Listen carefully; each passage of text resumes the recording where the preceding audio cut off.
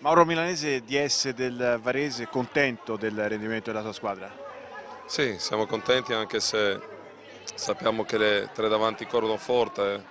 e senza essere né scaramantici né positivi né ottimisti sappiamo che se il Verona con 43 punti tenesse questo cammino anche al ritorno ne farebbe 86 quindi sarebbe difficile raggiungere i playoff anche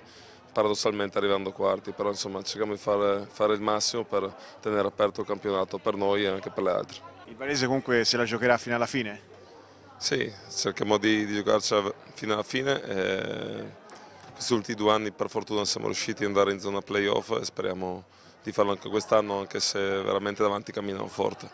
Per il mercato in questi ultimi giorni state progettando quali colpi? No, noi dobbiamo fare qualcosa di qualità, insomma un po' gli acquisti di, di quest'estate sono andati bene, quindi per migliorare l'11 e migliorare eh, la formazione dovremmo portare e completare con qualcosa la squadra apportare uno o due elementi di qualità per essere ancora più forti, però sappiamo che per la nostra nicchia di, di stipendi e mercato dobbiamo aspettare l'ultimo momento per poi eh, intervenire e cercare qualcosa che, che oggi non, non ci potremo permettere. Tra gli altri vostri giocatori si è parlato molto di Martinetti, inseguito da vari club, rimarrà a Varese? Ah, penso Martinetti sta bene con noi, ha fatto gol, il mister lo vede bene, poi il mercato è talmente vario che, che,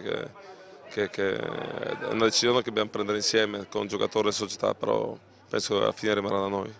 Invece da ex interista che cosa pensi del mercato dei nerazzurri e del campionato della squadra di Stramaccioni?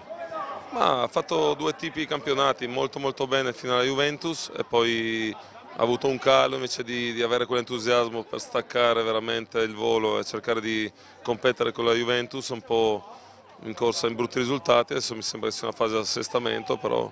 sarebbe bello che il campionato sia, sia vivo fino alla fine anche perché vedere una sola squadra che vince sempre insomma poi annoia un po' tutti quanti. Restando sulla Serie A tra Drogba, Balotelli,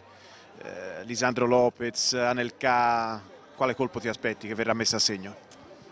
Ma io penso mm, Drogba, non avendo,